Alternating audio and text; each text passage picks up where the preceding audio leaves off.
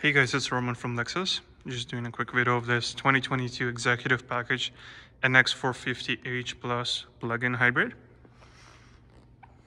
This is the Grecian water color. Looks pretty nice in person.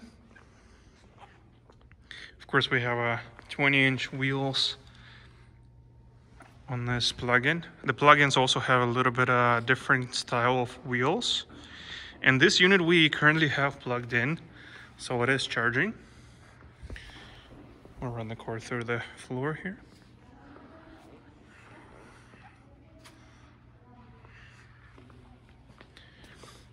And of course, being executive package, this would be the fully loaded one that you can get. And also the most expensive NX you can get. This one would be running you around $78,000 Canadian before the taxes.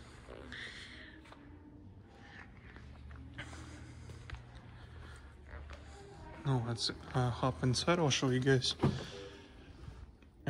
around inside. As you can see on the screen there, we have a charge for a few hours now. And there's four hours left to a full charge for electric range. So every time you get into your car, that's what it would show. There's a little um, button on the steering wheel you can push to see that. We have heads-up display, 14-inch screen. We have a smaller sunroof. Fully customizable steering wheel also on the, the buttons on there.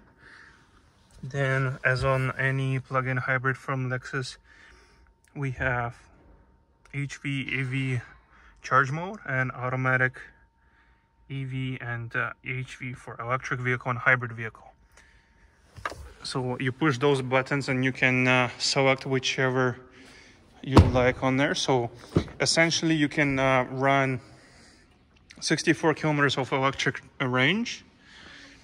And uh, if once you run out of that, the vehicle will turn into a hybrid vehicle. So it'll be just like 350h once you're out of the electric range.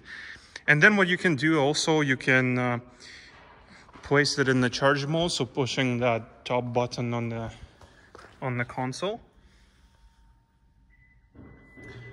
And then you can also recuperate up to 80% of electric range just by driving the vehicle.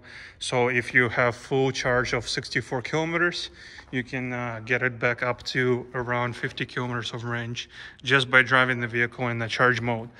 In the charge mode, you do burn a little bit more gas compared to the hybrid mode, but you do in the end of the day get uh, some extra miles or kilometers uh, of electric range. So it's still, it's kind of a win-win.